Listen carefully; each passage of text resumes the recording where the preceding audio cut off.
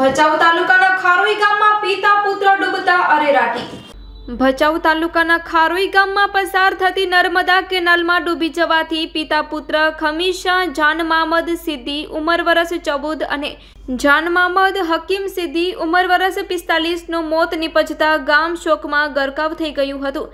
બનાવ સ્થળે લોકોના ટોળા એકત્ર થઈ ગયા હતા. આ અંગે જાણવા મળી રહ્યું છે.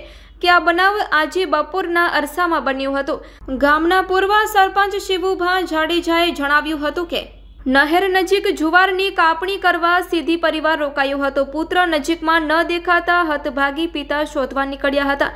નહેરમાં પુત્ર દેખાતા પિતા બચાવવા અંદર ઉતર્યા હતા. પિતા પુત્ર ગાયબ થતા પરિવારજનો ચિંતિત બની ચૂક્યા હતા અને કેનાલ પાસે શોધખોળ આદરી હતી.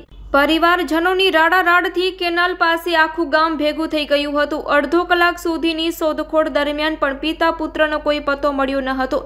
ગામ લોકોએ તરવૈયા સાથે સરપંચ સમરથસિંહ સોઢા વગેરે સહયોગી બન્યા હતા. તરવૈયાઓએ પિતા પુત્રના મૃતદેહને બહાર કાઢ્યા હતા. પરિવારજનોના હૈયા ફાટ રુદનથી ભારે ગમગીની ફેલાઈ હતી. મૃતદેહોને પોસ્ટમોર્ટમ માટે ભચાઉ સરકારી હોસ્પિટલમાં ખસેડાયા હતા. નાના એવા ખારોઈ ગામમાં સીધી પરિવારના પિતા પુત્રના મોત નિપજતા શોકની લાગણી પ્રસરી હતી. એકાદ સપ્તાહથી શરૂ થયેલી નર્મદા નહેર જીવલેણ બની હતી. રિપોર્ટ બાય ગણી કુંભાર.